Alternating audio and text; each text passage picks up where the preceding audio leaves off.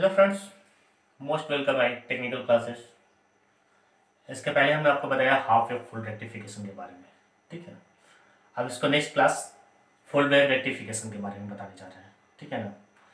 तो full wave rectification जो होते हैं वो टू टाइप्स होते हैं। Centre tap rectifier and full wave bridge rectifier ठीक है? तो सेंटर टैप रेक्टिफायर में ये होते हैं कि आपको ट्रांसफार्मर को सेंटर किया जाता है। ठीक है ना? तो इसमें ये होता है कि इसमें टू डायोड्स की ज़रूरत होती है।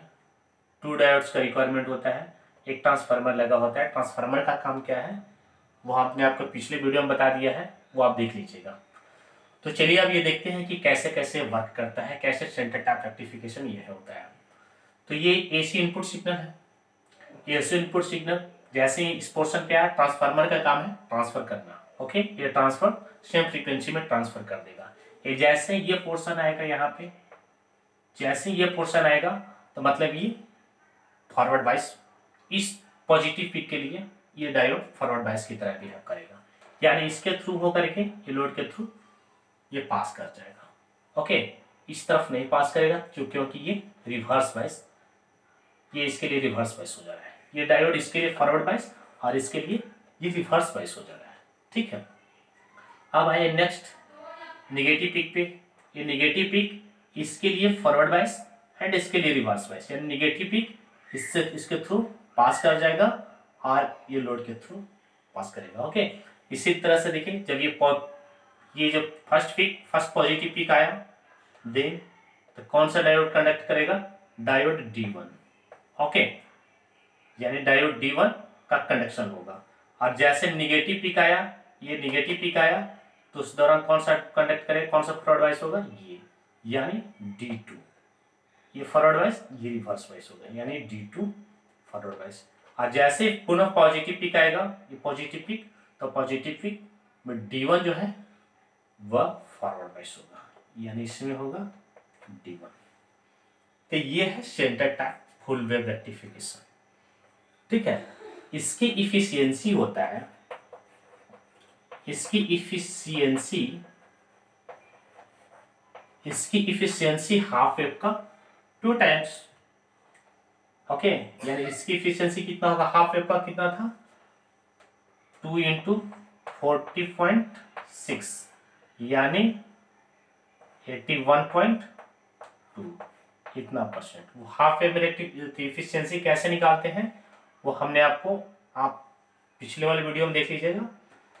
हाफ़ वेब का इफिशियंसी कैसे नहीं हाफ़ वेब का इफिशियंसी होता है फोर्टी पॉइंट सिक्स तो मतलब फुल वेब का इफिशियंसी टू टाइम्स है, यानी टू इंटू हाफ़ वेब यानी eighty one point two percent ठीक है ना? ये हो गया आपका centre type full wave rectification अब आइए फुल वेब ब्रिज रेक्टिफिकेशन में। ठीक है? फुल वेब ब्रिज रेक्टिफिकेशन में सेंटर टाइप में टू टाइप टू डायोड की रिक्वायरमेंट होता है और फुल वेब ब्रिज रेक्टिफिकेशन में चार डायोड की ज़रूरत होता है। ठीक है? जो चारों डायोड होते हैं, एक दूसरे को पैरेलल होते हैं। चारों डायोड होते हैं, एक दूसरे को क्रॉस पैरेलल होता है। ओके तो इसमें ये देखिए, ये ऐसे इनपुट सिग्नल है ट्रांसफार्मर एंड फोर डायोड ठीक है? तो इसमें जैसे ये सिग्नल आता है, जैसे पॉजिटिव सिग्नल आता है तो ये क्या करेगा? ट्रांसफार्मर ट्रांसफ़र करेगा सिग्नल को। तो यहाँ पे मान लेते हैं कि पॉजिटिव आया। यहाँ पे ये पॉजिटिव सिग्नल आया। तो मतलब पॉजिटिव आया तो पॉजिटिव इसके लिए क्या है? फॉरवर्ड बाइस रिवर्स बाइस इसके लिए क्या है? फॉरवर्ड बाइस इसके लिए फॉरवर्ड बाइस है तो मान लेते हैं कि इसको हमने हटा दिया। ये लोड हमने यहाँ पे लगा दिया। ये लोड यहाँ पे लगा दिया आर ओके आर हमने यहाँ पे लगा दिया। ठीक है? तो ये इसके लिए रिवर्स बाइस लेकिन इसके लिए क्या है? डी वन के लिए फॉरवर्ड बाइस डी फोर के लिए रिवर्स बाइस और डी वन के लिए फॉरवर्ड बाइस यहाँ पे आएगा इस पॉइंट पे सिग्नल और इस पॉइंट ये देखेगा कि इधर की ओर रिवर्स बाइस इसलिए इधर नहीं जा करके सिग्नल डायरेक्ट इस पॉइंट पे आएगा। इस पॉइंट से आकर के ये इसके लिए फिर फॉरवर्ड बाइस मतलब इस रास्ते क्रॉस कर जाएगा। यानी सिग्नल पास कर देगा। यानी कहने का मतलब पॉजिटिव पीक अगर जैसी आता है, देखिए वी इनपुट और वी आउट पॉजिटिव पीक अगर जैसी आता है तो डी वन और डी थ्री डायोड आपका कनेक्ट कर जाएगा यानी D one and D three okay D one and D three आपका कंडक्ट कर जाएगा। ये। ठीक है? और जैसे निगेटिव पिक आता है मतलब ये सिग्नल ये सिग्नल आता है तो इसका मतलब इस तरफ़ ये जो आता है तो यहाँ पे देखिए, ये इसके लिए रिवर्स वाइस लेकिन इसके लिए फॉरवर्ड वाइस ये इस तरफ़ डी टू की ओर जाएगा, और यहाँ पे जैसे आएगा तो देखेगा कि डी वन के लिए रिवर्स वाइस है तो इस तरह से क्रॉस कर इससे क्रॉस करेगा तो देखेगा डी फोर के लिए हम फॉरवर्ड वाइस है। डी फोर के लिए फॉरवर्ड वाइस रहेगा और इस तरह से होकर के पास कर जाएगा। यानी निगेटिव पिक जैसे आता है तो निगेटिव पिक के लिए ये डी टू और डी फोर डी टू और डी फोर कंडक्ट कर जाएगा। ओके डी टू और डी फोर कंडक्ट कर जाएगा। सिमिलरली उसी तरह से इस पिक के लिए डी वन और डी थ्री फिर इस इस पिक के लिए डी थ्री डी टू और डी टू और डी फोर ओके ये हो गया। इसकी इफिशियंसी भी, इसकी इफिशियंसी भी होता है।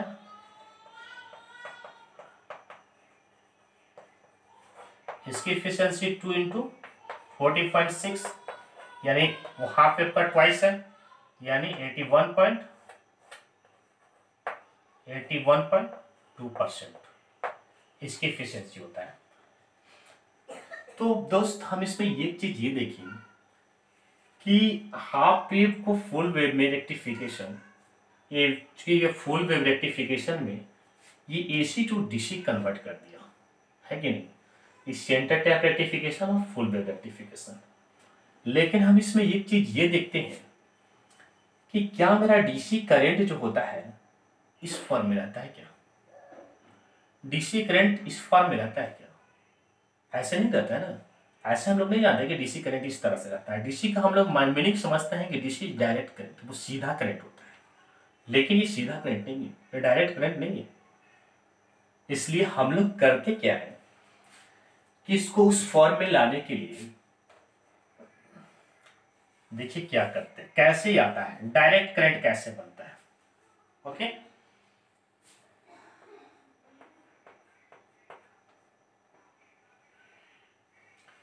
हम लोग करते क्या है कि यहाँ पे चौक लगाते हैं।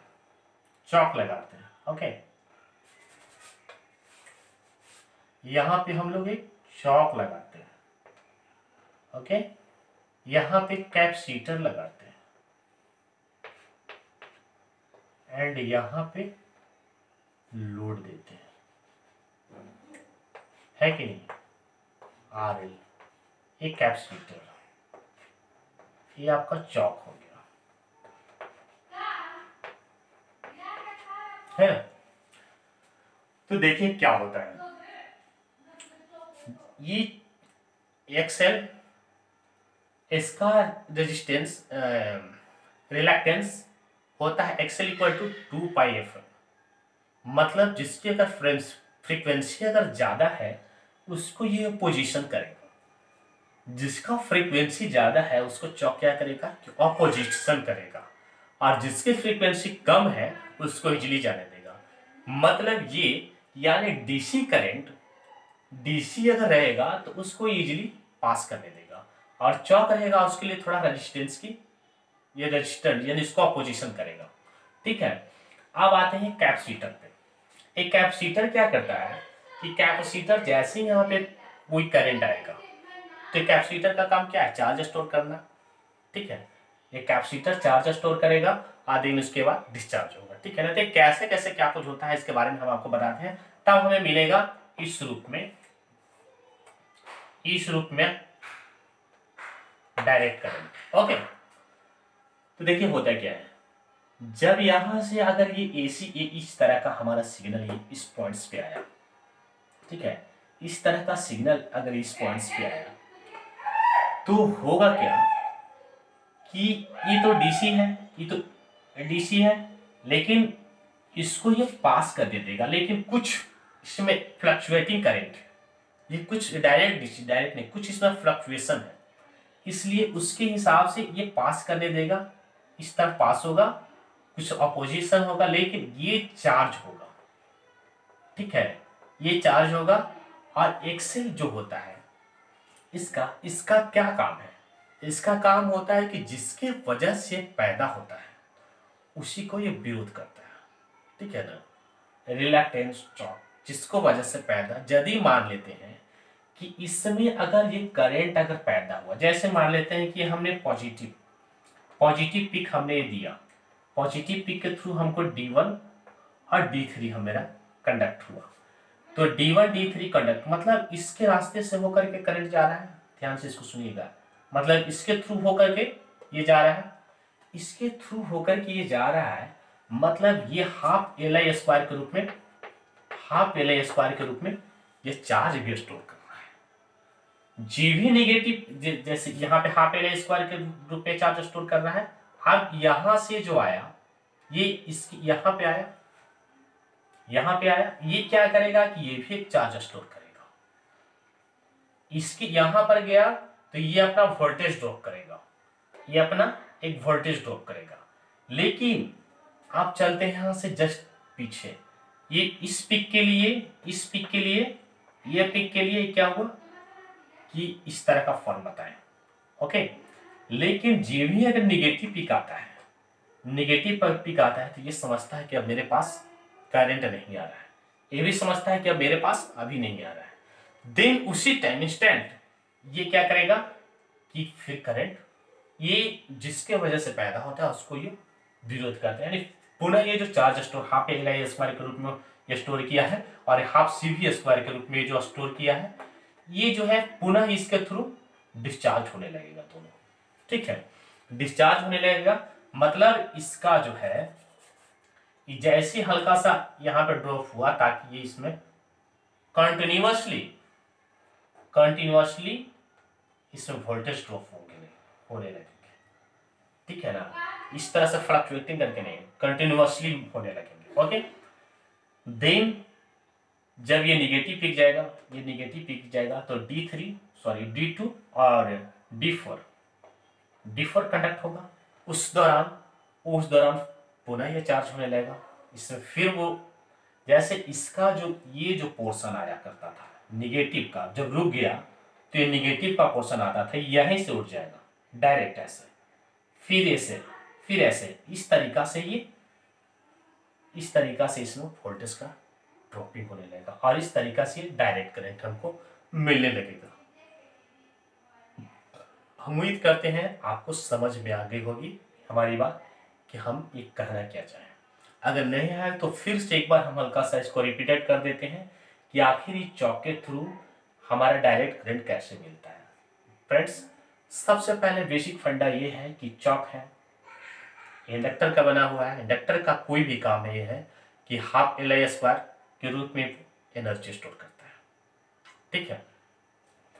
अब हमारा और सी कैपेसिटर का काम है, हाफ़ सी वी स्क्वायर के रूप में, ये भी एनर्जी स्टोर करता है। ठीक है?